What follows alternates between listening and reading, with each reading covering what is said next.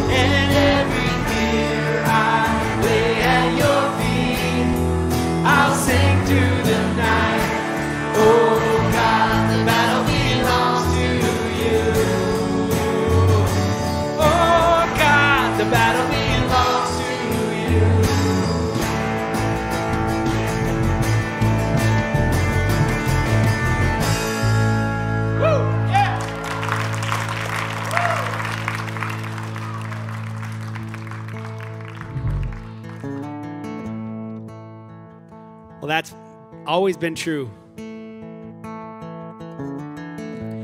Saints throughout the ages have relied on that. This song was penned many, many years ago by a saint named Martin Luther. It's true to this day. A mighty fortress is our God, a bulwark never failing. Our helper, he amid the flood of mortal ills prevailing. For still our ancient foe doth seek to work us woe. His craft and power are great, and armed with cruel hate. On earth is not his equal.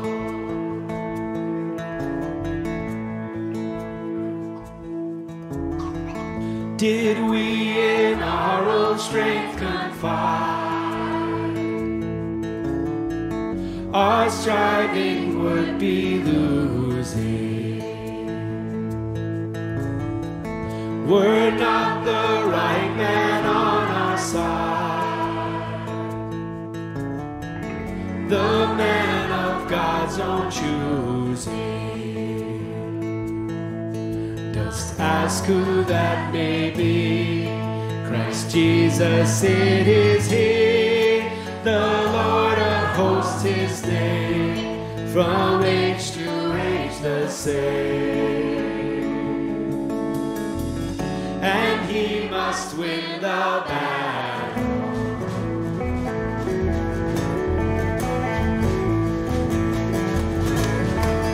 And though this world with devils filled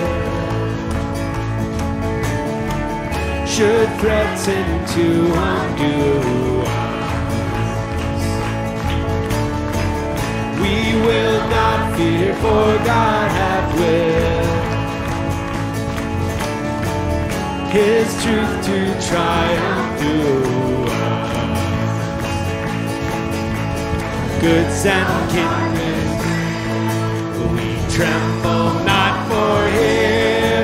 His rage we can endure, for lo, his doom is sure. Little word shall fail.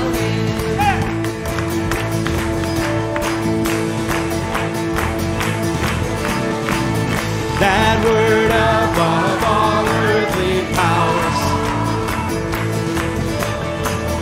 no thanks to them abide. The Spirit and the gifts are ours through Him who is beside. Goods and kindred go, this mortal life also the body they may kill. God's truth abides in. His kingdom is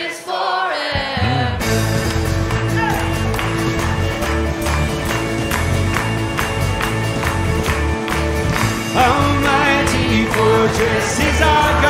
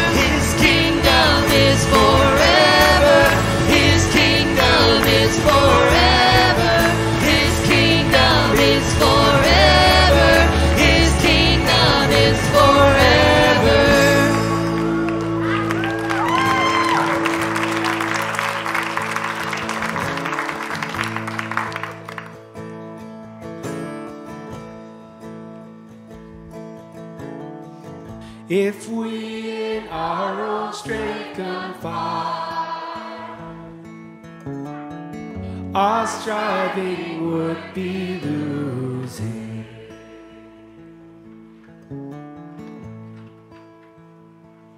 Your kingdom is forever, Lord. Jesus, you reign on the throne. Jesus, you are Lord forever.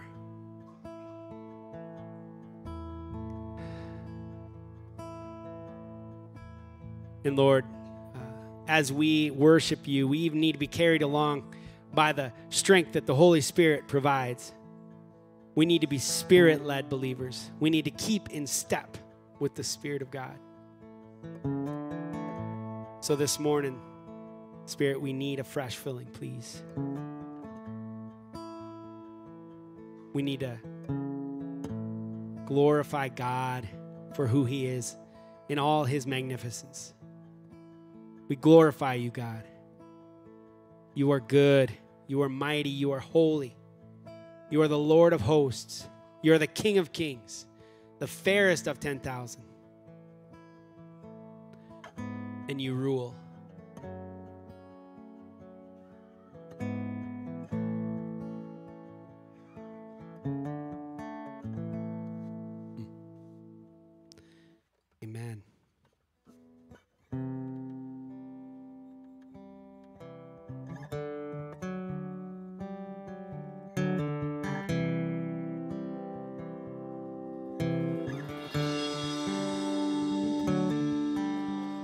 All the saints and angels, they bow before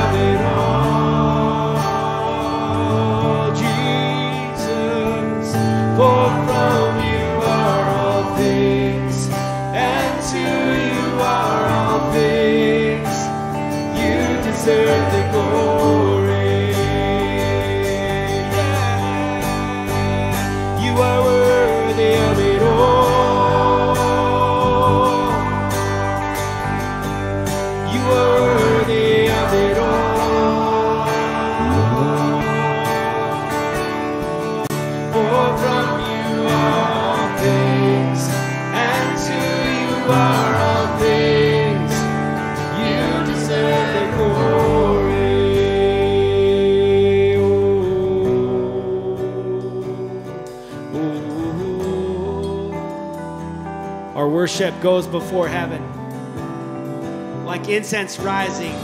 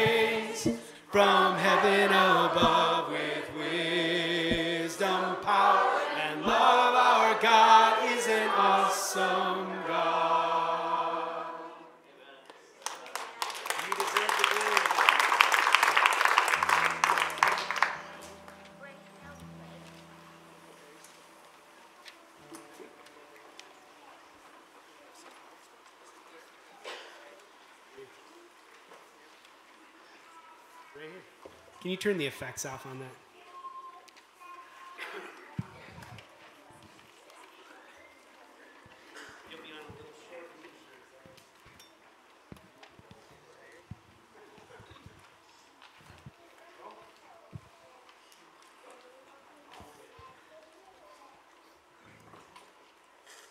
You are so worthy of it all. Psalm 145 I will exalt you, my God and King, and praise your name forever and ever. I will praise you every day. Yes, I will praise you forever.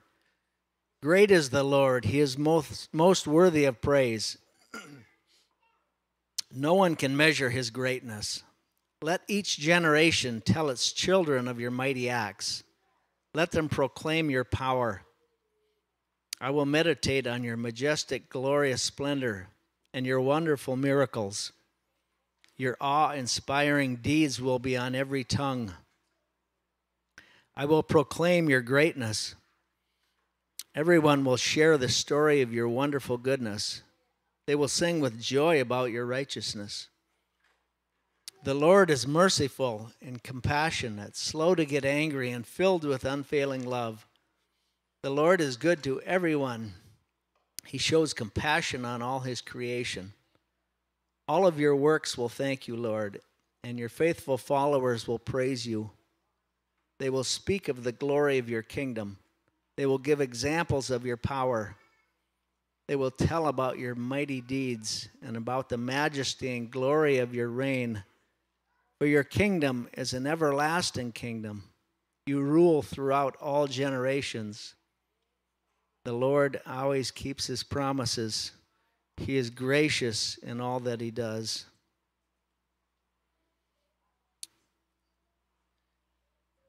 It's such a privilege this morning to gather and to lift up our praises to you.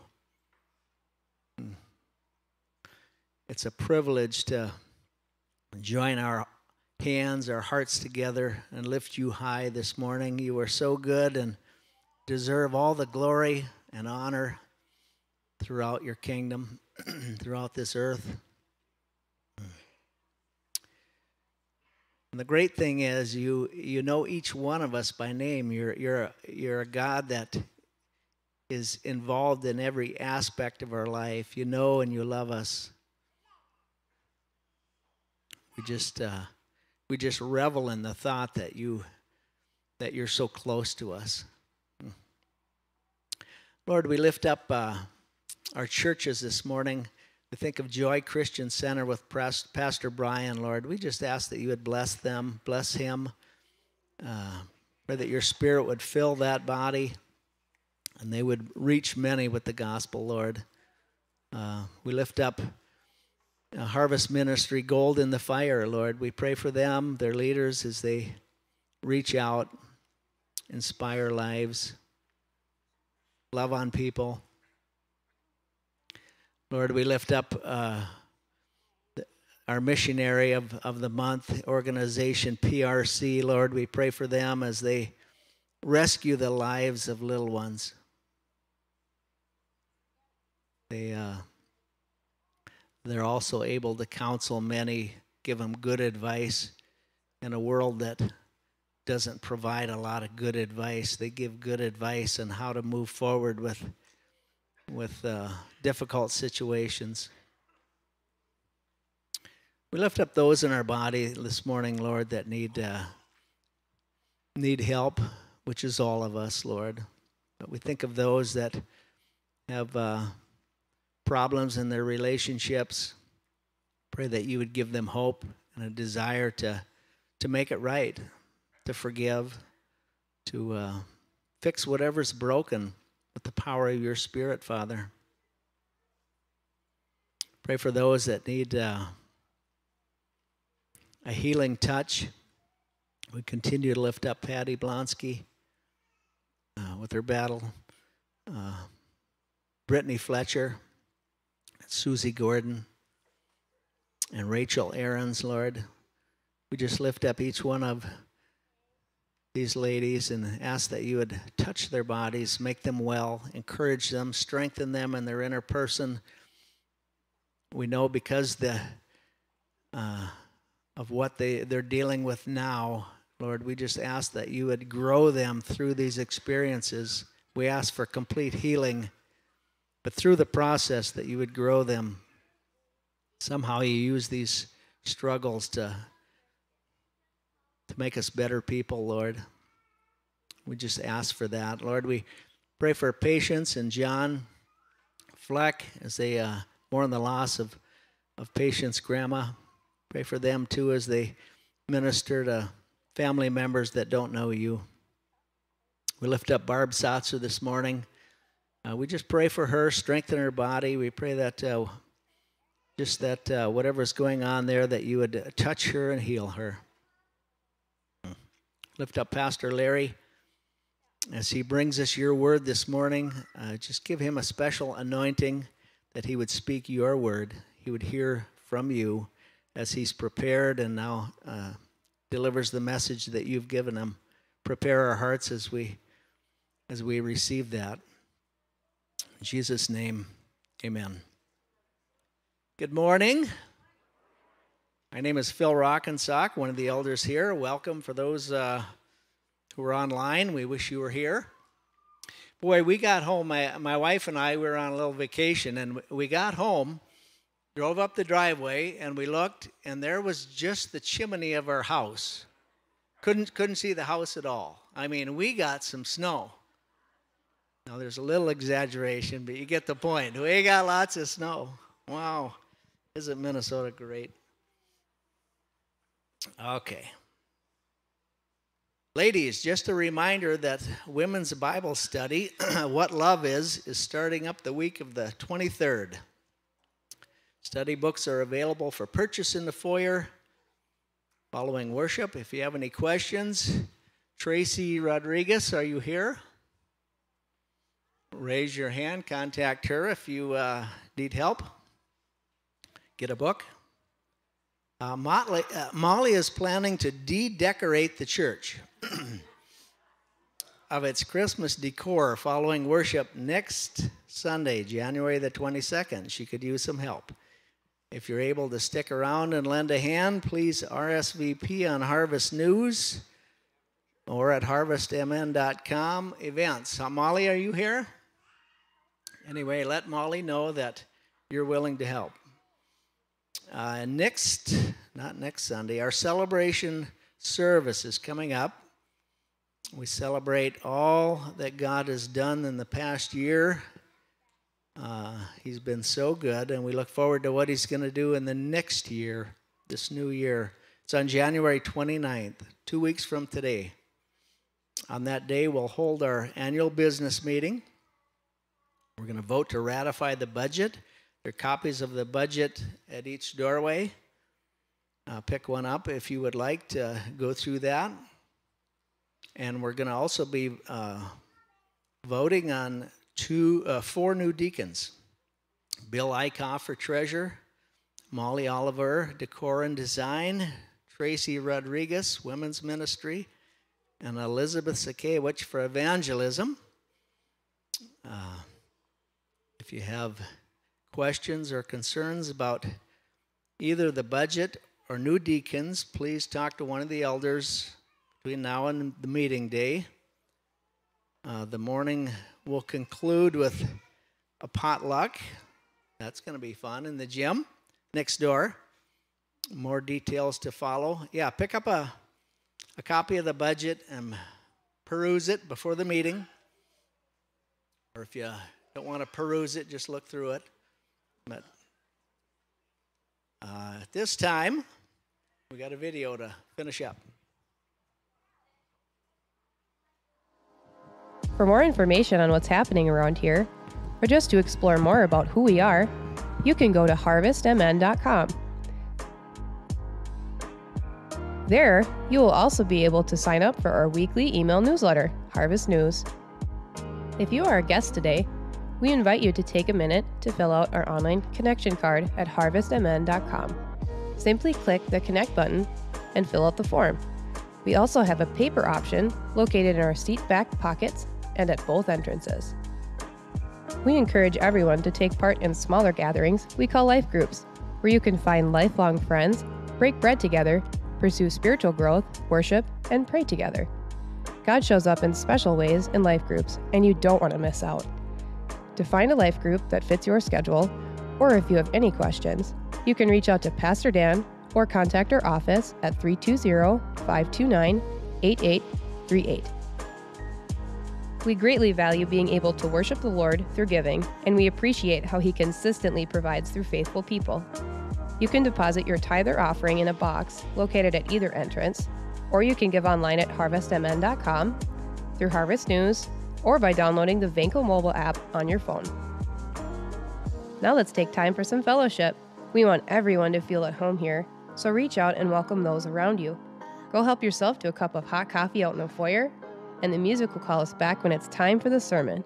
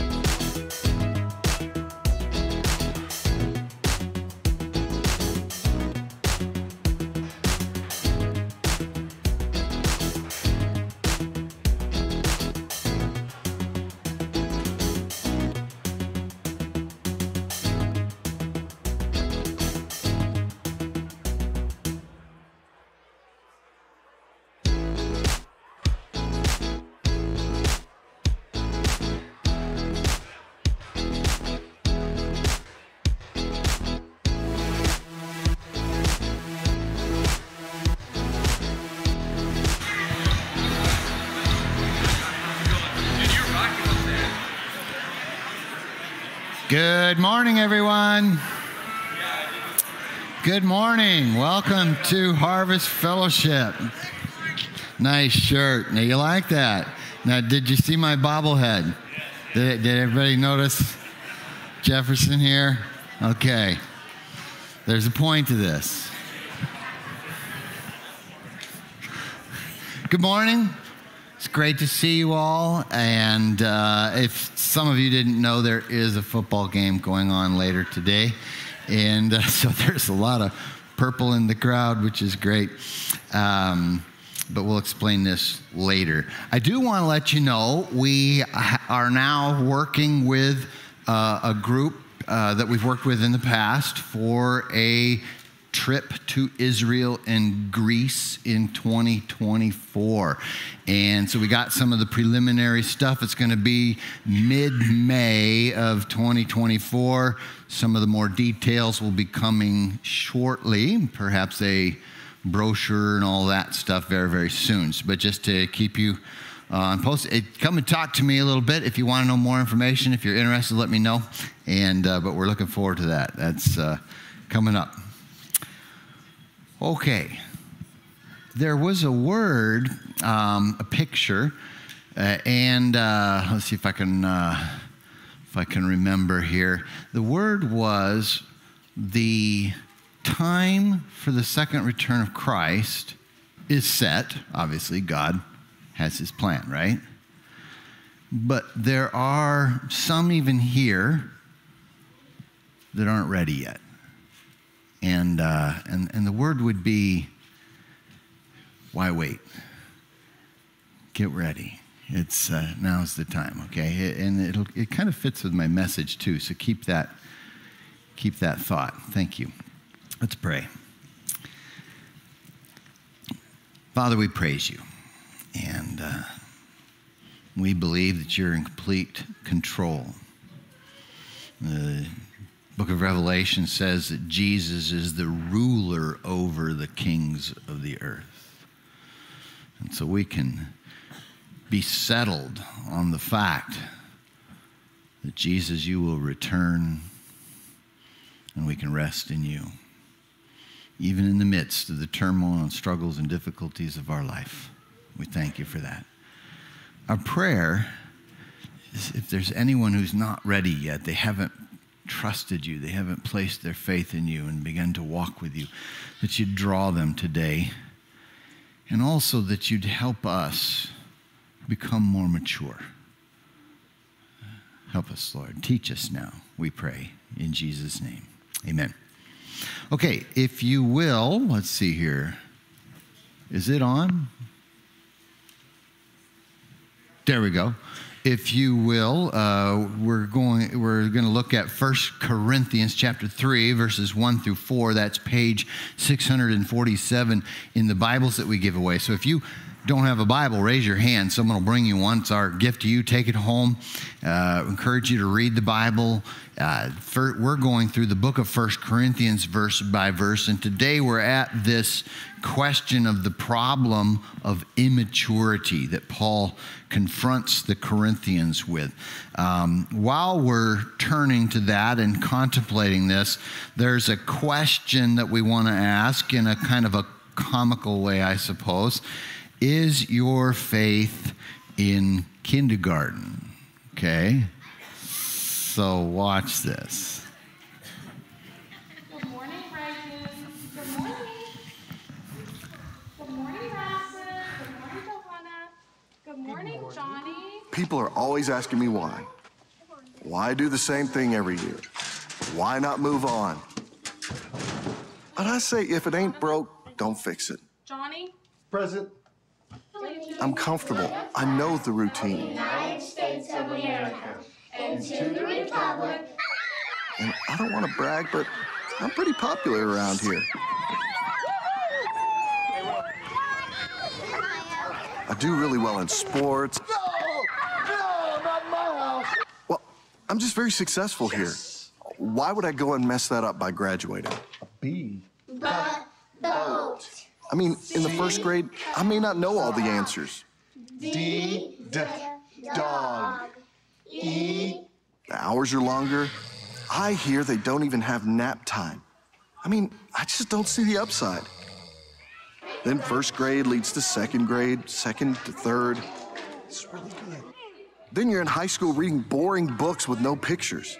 Three, four, five. But he was still, Still hungry. Next thing you know, people expect you to get a job and give up summer vacation. no, sir. I think I found my niche. Thank you very much. Home sweet kindergarten. Besides, I mean, what if I failed first grade? How humiliating would that be? Nope, just don't think I could handle that kind of embarrassment. And sometimes letter Y too.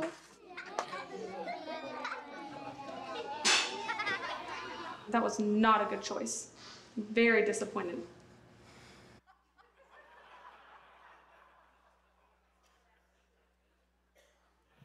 Okay.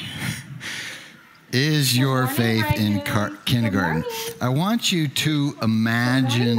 Oops, better advance here, huh? Yeah, okay. Uh, imagine a church that's on fire, reaching the lost, discipling the saved, setting the captives free, healing the sick, praising God together, okay? Do you think Satan would just kind of sit back and just let all that happen without a fight? Okay. What is his strategy? Is in our passage, we will see two things Satan attempts to do to the church at Corinth. We're going to see other parts of his strategy as we go through Corinthians as well. But two things stick out in this uh, in this passage here. He seeks to keep believers immature, first of all, and then he tries to bring about division, which is a fruit of immaturity. Okay? So let's look at our passage now. In, uh, if, well, I don't want to go back, it'll bring up the, uh, the video. 1 Corinthians chapter 3, verse 1. For my part, brothers and sisters, I was not able to speak to you as spiritual people, but as people of the flesh, as babies in Christ. I gave you milk to drink, not solid food, since you were not yet ready for it. In fact, you're still not ready because you're still worldly. For since there is envy and strife among you, are you not worldly and behaving like mere humans? For whenever someone says, I belong to Paul, and another, I belong to Apollos, are you not acting like mere humans? Uh, let me read from Gardner's commentary on this. He says, The contrast formerly, before in chapter 2, the contrast formerly was between those who were believers, the spiritual, and those who are not, the unspiritual. Now, this contrast is between what spiritual people, believers, ought to be and how they actually appear in Corinth. They are part of the family, but they have a lot of growing up to do. Okay? So let's look at the problem of immaturity. Everybody likes kids, right? Well, if you don't, you should, because kids are great and awesome, aren't they? Right? Okay.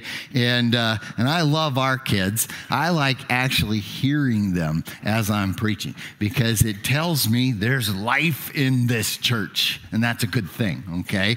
Uh, um, uh, although I do know that sometimes for the parents it's a little like oh you know they they they struggle with it far more than everybody else. So relax. Okay. It's okay. Uh, we do have nursery from zero to five years old, but. But I love having the kids in the church. That's just my, my thoughts, okay? So, but we do all want them to grow up, don't we? You know, in their time, in the right amount of time, we want them to grow up.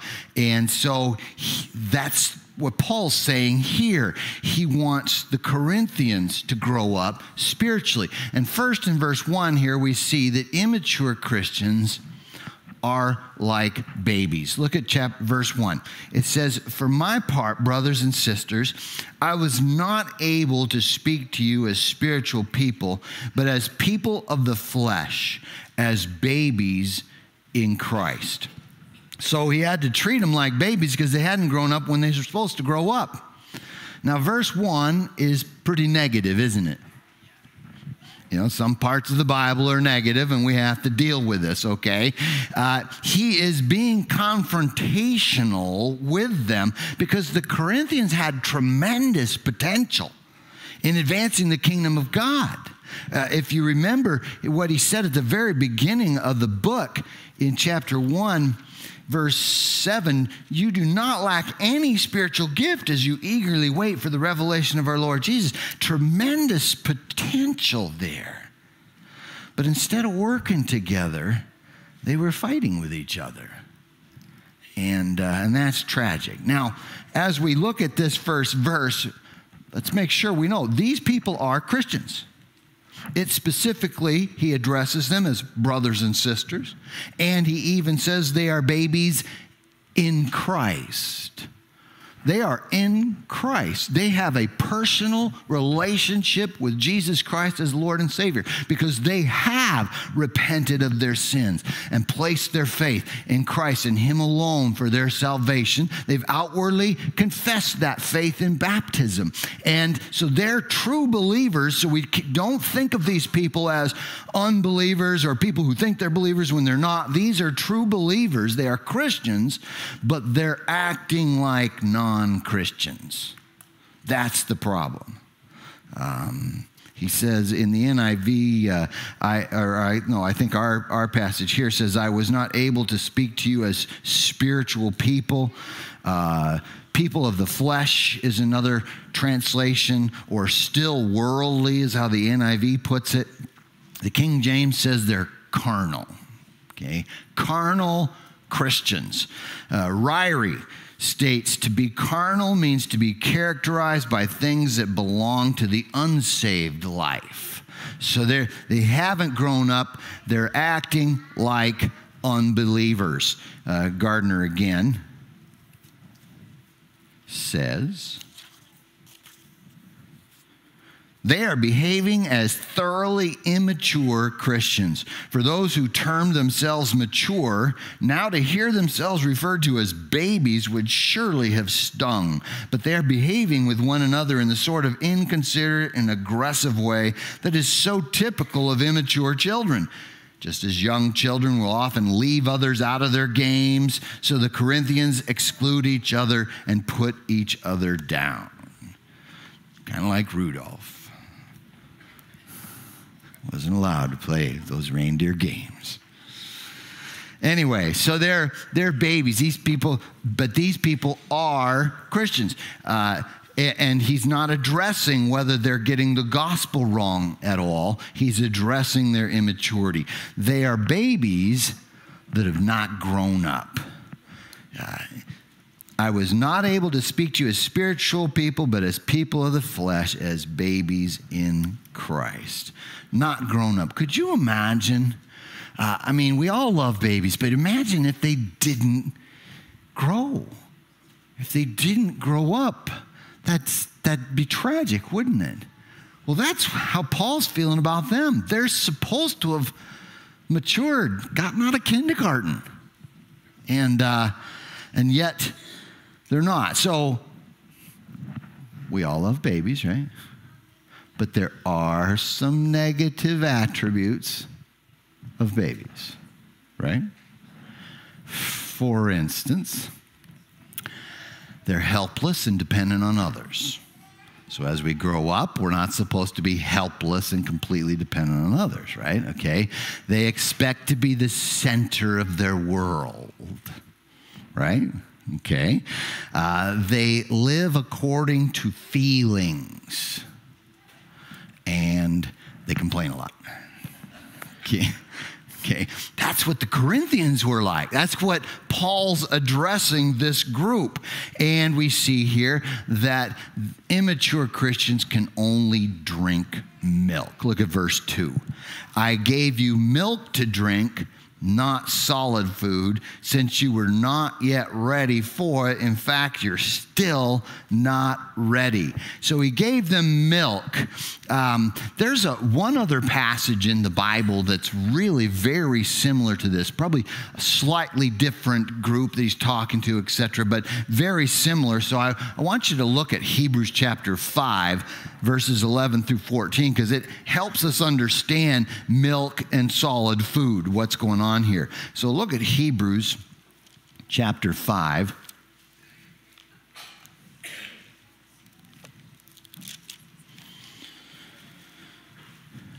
The writer of Hebrews, uh, some people think it was Paul. I disagree personally. I don't think it was Paul that wrote the book of Hebrews. I think there's some good evidence against that, but it was probably somebody close to Paul. I, I actually lean towards the possibility of Luke being the writer of Hebrews, but it doesn't say who it is, so we're not really sure. But it sounds a lot like Paul. I'll, I'll give him that. Now, look at verse 11 here. It says, We have a great deal to say about this, and it's difficult to explain since you have become too lazy to understand. Okay. Although by this time you ought to be teachers, you need someone to teach you the basic principles of God's revelation again. You need milk, not solid food. Now, everyone who lives on milk is inexperienced with the message about righteousness because he's an infant. But solid food is for the mature, for those whose senses have been trained to distinguish between good and evil. Now, here he's talking about milk and solid food, and he's indicating a couple things about what each of these mean. And so let's well, let's keep this passage in mind as well as we keep our passage in mind. First of all, milk. Milk is good. It's great on cereal. Okay. Yeah. Milk is good. He's using this, he's not using the term milk in a derogatory sense. Milk is good. It is the original gospel message, it's the basics of the Christian faith. That's good. We need that. He's not saying that's not good, but he is saying you can't just stay there, okay? Meat is important. And, uh, meat, now in the passage in Hebrews, he actually indicates a little bit of what the meat might be. Uh, at the end of the passage, he talks about being able to know righteousness and discern from good and evil. So it's biblical ethics that uh, that we uh, he recognizes here that you're able to discern that. By the way, I'm going to be teaching a class starting in uh, uh, actually March. Uh, just a six week class on Sunday evenings on biblical ethics. So, two hour class. It'll be a pretty good, thorough class if you're interested on, on that. But here we see in Hebrews, he says uh, that it's for those, those whose senses have been trained to distinguish between good and evil. But there's something else about the solid food as well. If you notice back in the passage, verse 11, he says, We have a great deal to say about this, and it's difficult to explain since you become too lazy to understand. Well, what is the this that he's talking about? That's why it's important to see the context of the passage the first few first 10 verses of the book of, of chapter 5 in hebrews he was talking about jesus being a priest in the order of melchizedek so what he was talking about was good doctrine who Jesus is, how he was our great high priest and offered the sacrifice for our sins. And so we see this, this doctrine that he wanted to go more into, more thoroughly to help these people, but they weren't ready for it. They couldn't eat the meat. Now, babies, um, you try to feed them steak and they might throw it up, real, little babies, but you know, you, you do want to get them eating steak very soon. You, you get the illustration here, okay? Uh, in our passage, uh, it might not be referring specifically to doctrine, but it is talking about deeper and deeper understanding of God's word and his plan for your life with the accompanying fruit that's supposed to come as we mature, the fruit of the Spirit. So, another passage that really ties all this in together is Ephesians chapter 4. Look at Ephesians 4 11 through 16. First Corinthians, I've been discussing, uh, arguing that this whole book was written to prepare the people, since they had the spiritual gifts, how to use them appropriately to advance the kingdom of God. In other words, we all have a part to play in advancing the kingdom of God. Everybody gets to play. We're supposed to find our part and get involved, start doing the work of the ministry together, okay? Uh, but immaturity hinders that. Look at what he says here in Ephesians chapter 4 verse 11. And he himself gave some to be apostles, some prophets, some evangelists, some pastors and teachers. So he gives us the leaders. Why? Verse 12, to equip the saints for the work of ministry to build up the body of Christ. So the leaders equip the saints to do the work, right? So, who does the work? The saints. Who are the saints? All believers, yes. So, the leaders, so do the leaders do all the work? No, the leaders equip the saints to do the work, and that's how the kingdom is advanced properly, okay? So uh, then he goes on to say, until we all reach unity in the faith and in the knowledge of God's Son, growing into maturity with a stature measured by Christ's fullness. So there's that unity. God wants to unite us as a church as we grow up in Christ. Then, see verse 14? Then, I have that underlined. You should, if, if you mark in your Bibles at all, some people don't do that. They think the Bible's, I don't know, whatever, but mark in it all you want. Okay, I have it underlined. Then, when we are united and, and are mature, we've been equipped by the leaders, we're actually doing the work, then we will no longer be little children tossed by the waves and blown around by every wind of teaching, by human cunning with cleverness and the techniques of deceit. You won't be deceived by the false teachers. And there are a lot of them out there. Uh, and that's and and he's very concerned about this. We're we don't want to stay babies because that makes us vulnerable to being deceived by false teachers. Instead, speaking the truth in love. I love that verse because we're supposed to speak the truth. We can't just pretend, you know, oh, I don't want to say anything that might hurt somebody or whatever. We have to speak the truth, but you got to speak it in love. You actually have to care for the people that you're talking to, and that love should come out in your teaching. So, speaking the truth in love, let us grow in every way into Him who is the head, Christ. From Him, the whole body fitted and knit together by every supporting lig- ligament, promotes the growth of the body for building itself up in love by the proper working of each individual part. So here he uses the analogy of the body. The church is the body, just like he uses it in 1 Corinthians chapter 12. The church is the body. We all have a part. We're all a you know, a ligament or whatever, and we all have a part. And when we're actually all using our parts properly, that's when the whole body grows up. So that's the ideal. Milk is good, meat is important. And we, so we have to grow up in this. Now, uh, Adriel Sanchez gives us three signs of spiritual immaturity. Okay. First of all, spiritually immature Christians are gullible to strange doctrines. That's what we just saw in the uh, uh, both the Hebrews as well as the um, Ephesians passage.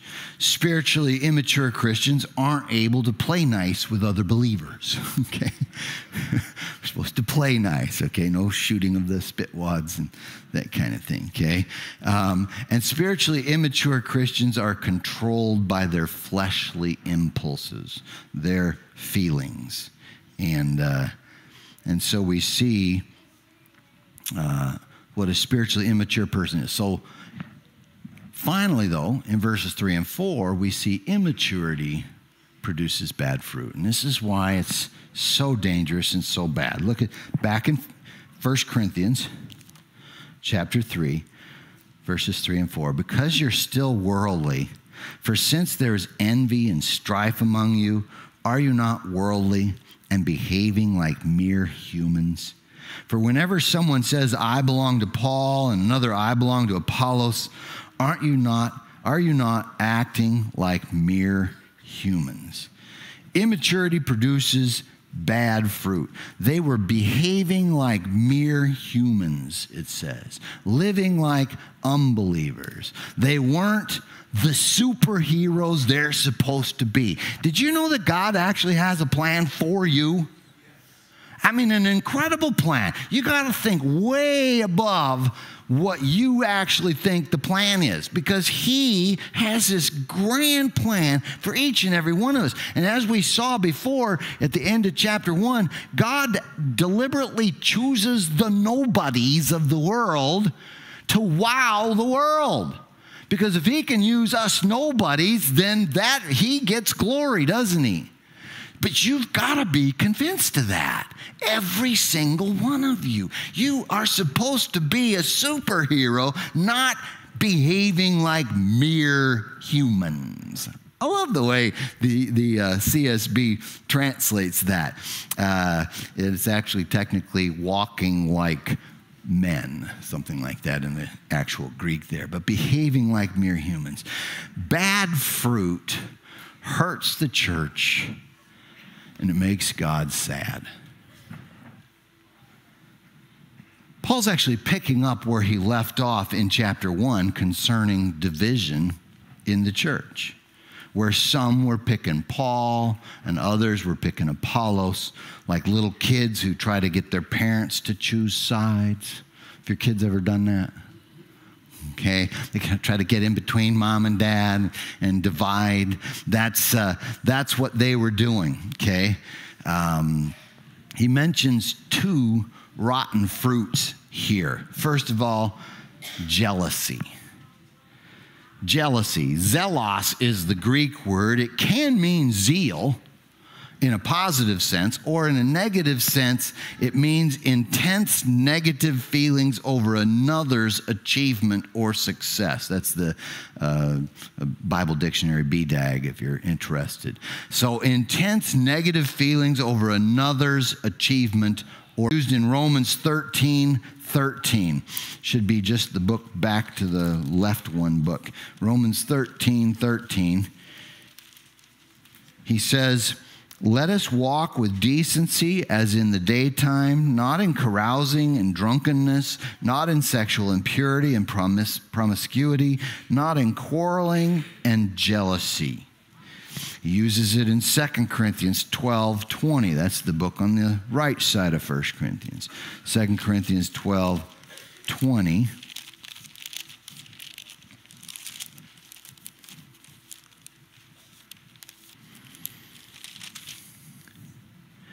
He says, For I fear that perhaps when I come, I will not find you to be what I want, and you may not find me to be what you want. Perhaps there will be quarreling, jealousy, angry outbursts, selfish ambition, slander, gossip, arrogance, and disorder.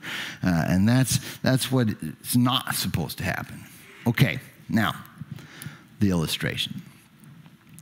Sometimes I get mad when the Packers win. Okay. All right, and um, and and that's that's sometimes at least because of it negatively affects the Vikings' success because they're in the same division, and so that's understandable. That's not the part I'm trying to talk about. But sometimes I just don't want them to win. I don't want them to enjoy success. And that's wrong. That's jealousy.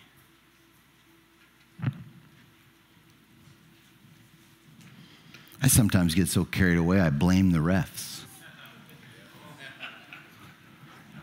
At my house, we have flags, you know, flags.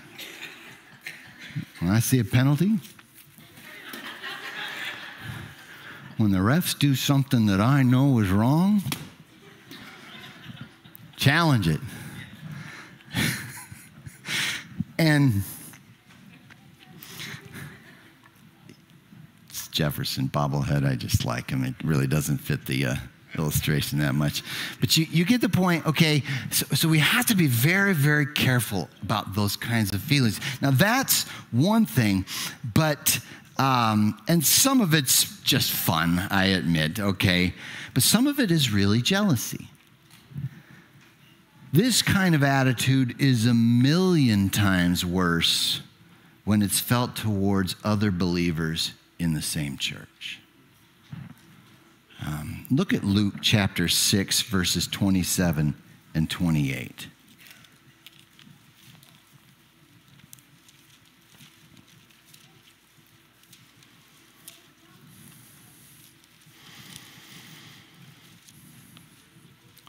Luke's rendition of the Sermon on the Mount, he says, But I say to you who listen, love your enemies, do what is good to those who hate you, bless those who curse you, pray for those who mistreat you. Um, that's how we're supposed to treat our enemies, the unbelievers that are persecuting us. How much more are we supposed to do this towards our believers, our brothers and sisters in Christ? Um, cheer each other on. Think well of each other. Uh, know that we're all on the same side and we all have each other's best interest in mind. You know, by the way, that's good advice for couples too. If you're married, sometimes if you're going through some struggles, you might start thinking, well, my spouse really doesn't uh, have my best interest in mind, or they really meant this when they said that. Have you ever done that? Okay. That's the enemy. He wants to divide us, he wants us to think poorly about each other. God wants us to give each other the benefit of the doubt to think well of each other, to build each other up, especially couples, build each other up, think well.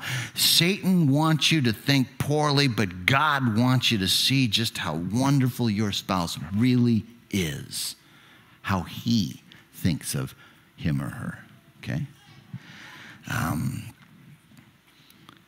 so we have jealousy. The second thing that's mentioned is strife back in our passage. If you notice here, he says uh, that because you are still worldly, for since there is envy and strife among you, are you not worldly and behaving like mere humans?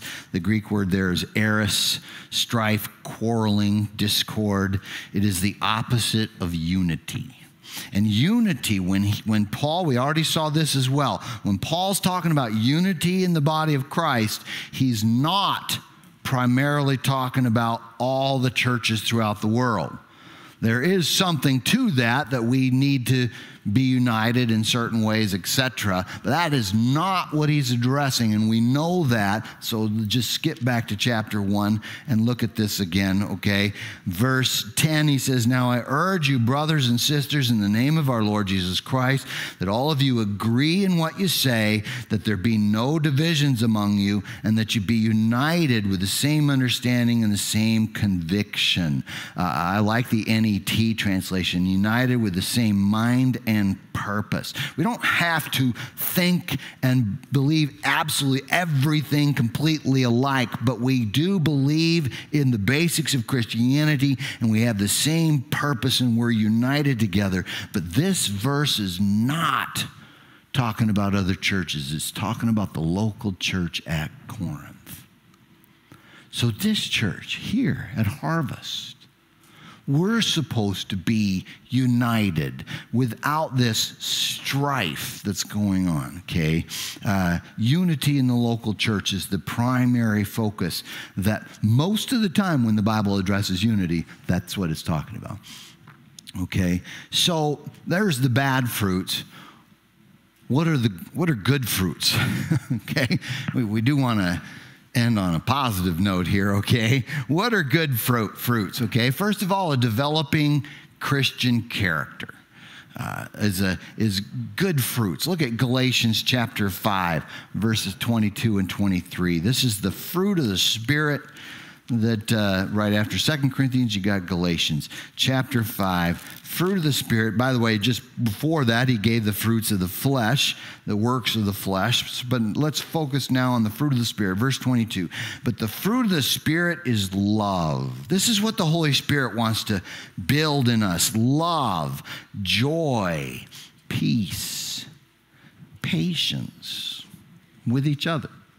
Okay? Patience kindness.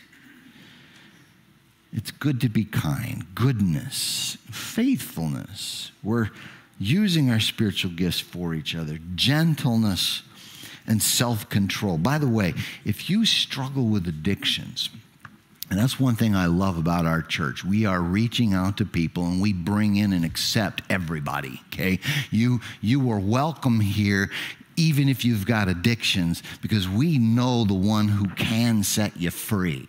It's what Jesus wants to do. But we also know that's a little messy too, okay? You, you don't, you, so we need to grow and we need, it's the Holy Spirit who actually produces this. So as you spend time with Christ in the body of Christ and actually experience the Holy Spirit in your life, you'll start to see the addictions fall off okay that's good news so we have a developing christian character. Second peter brings some of that out as well. Right conduct is called a fruit in colossians 1.10 uh, conversions through our witnessing. That's a fruit. As we share our faith people get saved. That's a fruit. Worship it's called the fruit of the lips worshiping god. That's fruit where you you're not just singing the songs. You find yourself actually talking to God, wanting Him to be glorified.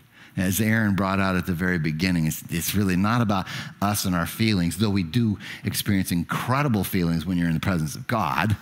You know, and God inhabits the praises of his people, so there's incredible feelings, but you don't do it for the feelings. You do it because you're just enamored with God, okay? And that's, as you're growing, that's a fruit of a good fruit of, of maturity. And uh, Romans 15 28 brings out giving money as a fruit, okay? So, how can we be more fruitful? here's the hard part, okay? The first one, I want you to turn to John chapter 15, is pruning. John 15, Jesus makes this statement, beautiful statement about being in Christ. He says, I am the true vine, and my Father is the gardener. Every branch in me that does not produce fruit, he removes. And he prunes every branch that produces fruit so that it will produce more fruit. So he doesn't want us to just produce a little bit of fruit. He wants us to produce a lot of fruit, but we have to be pruned in order to make that happen. Here's a quote it says, In pruning, the wise and loving vine dresser removes all useless things that would sap the strength of the branch and keep it from bearing more fruit. But pruning hurts, doesn't it? Okay. But it's necessary for growth. It can include discipline, Hebrews 12 5 to 12. It could include physical limitations at times. Uh, 2 Corinthians 12, 7 through 10. It could include material losses Hebrews 12, 10 34. It could include unjustified persecution. 1 Peter 4 12 through 16. He can use those, he doesn't cause them, but he can use those things to bring about more fruit, which is what we want, right?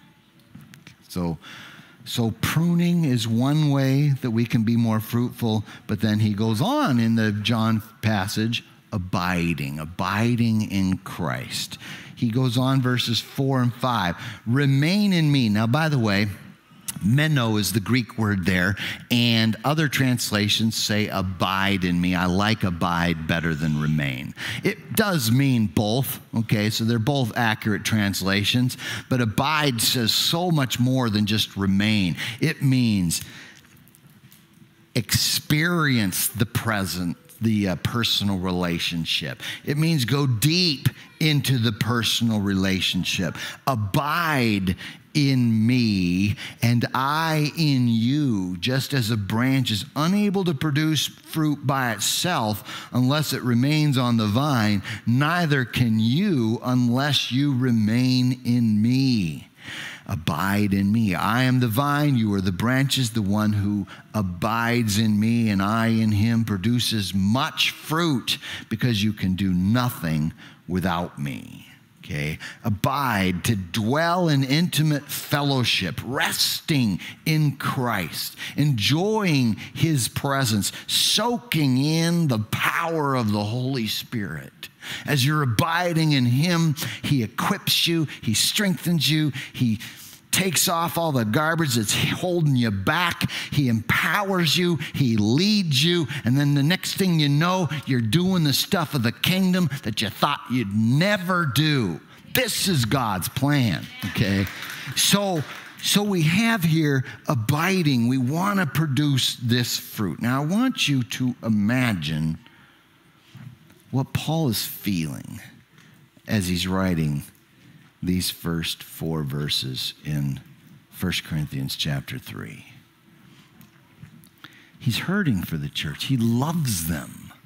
He wants, he sees the potential in the church at Corinth because it had all the gifts evident. And he already stated that in chapter one. But he sees the church struggling because of the jealousy, strife, and division.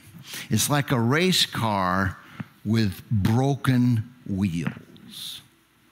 It's like a fishing pole with the line tangled up in the reel.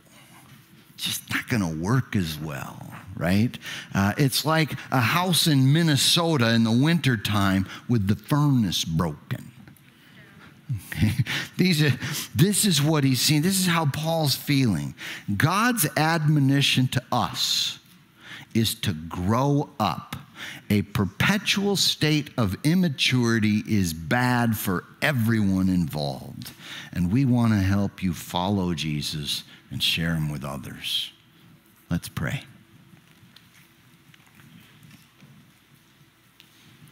Watch out for my flags.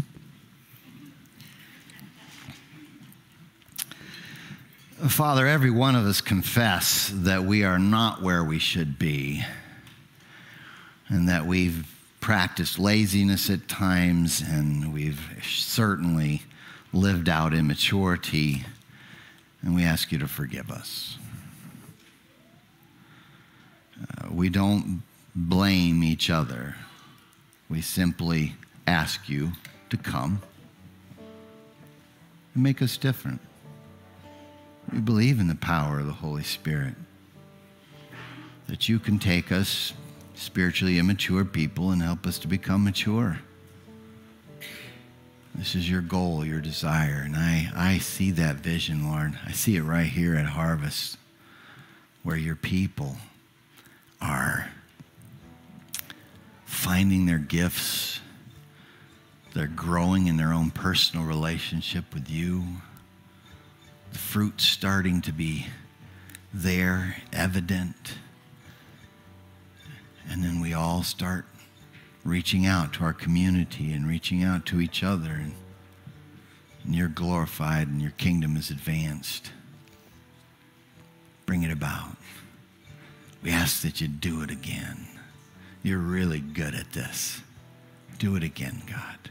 Help us. Thank you, Lord. Let's, let's stand. And as we worship, I really do want to encourage you to just expect to experience the presence of the Lord and allow Him to begin to do a work of maturity in your heart.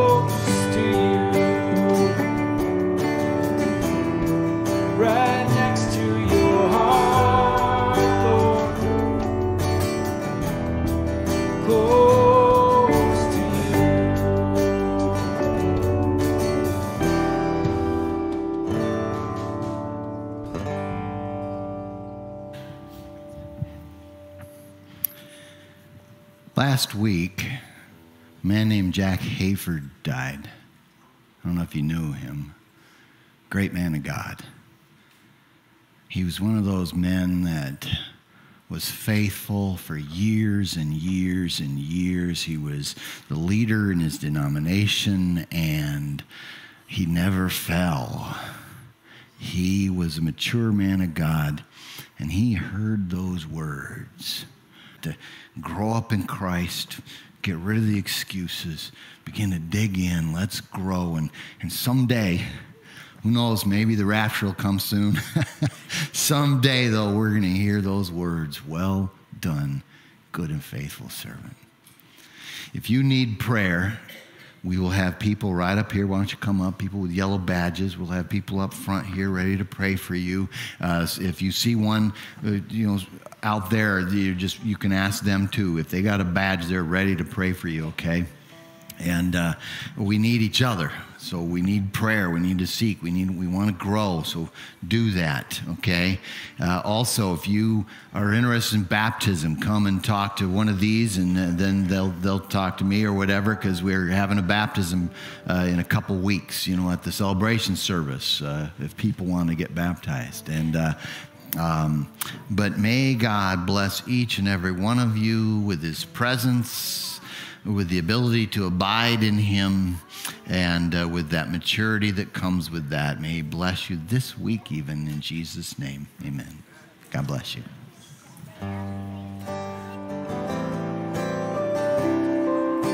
you.